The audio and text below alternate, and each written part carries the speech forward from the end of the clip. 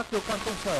cần phải quét mã QR code để có thể tập hợp dữ liệu số trên hệ thống ghi nhận việc đến hoặc đi tại các địa điểm công cộng. Ngoài ra, bất cứ người dân nào khi đến các nơi tụ tập đông người cần phải cài đặt ứng dụng Bluezone để có thể phát hiện tiếp xúc gần với người nhiễm bệnh. Những người thuộc diện giám sát cách ly y tế phải khai báo thông tin bắt buộc trên ứng dụng. Việc bắt buộc này cũng đòi hỏi ý thức của cộng đồng, không chỉ cài đặt ứng dụng vào thiết bị di động mà phải bật kết nối để ứng dụng hoạt động. Công Anh, Phó cục trưởng cục tin học hóa, Bộ Thông tin và Truyền thông cho biết. Khi mà dữ liệu thì đã tập trung mà đến dạng điện tử, để giúp dễ dàng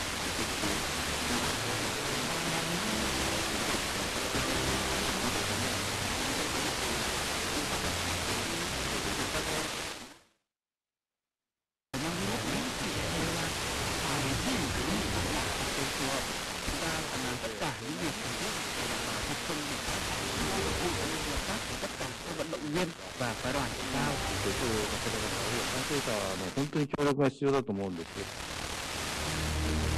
Sang trong nước và quốc tế đáng chú ý, ngay sau đây sẽ là những thông tin thời tiết cập nhật với biên tập viên Nguyễn Kiên. Thưa quý vị và các bạn, trong các ngày từ hôm nay đến ngày 14 tháng 6, thời gian diễn ra kỳ thi vào lớp 10 tại thủ đô Hà Nội. Thời tiết ở Hà Nội chuyển biến khả năng cao xuất hiện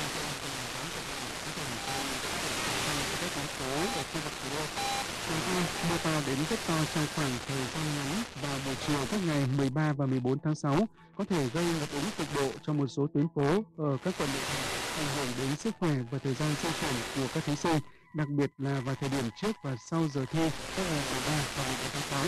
Do vậy, khi ra trận thể thao thì thí sinh và người nhà những gian định diện của các khu vực khác ở Bắc Bộ, khu vực của thành phố thì Chí Minh hôm nay có nắng gián đoạn từ chiều nay có mưa, cục bộ có mưa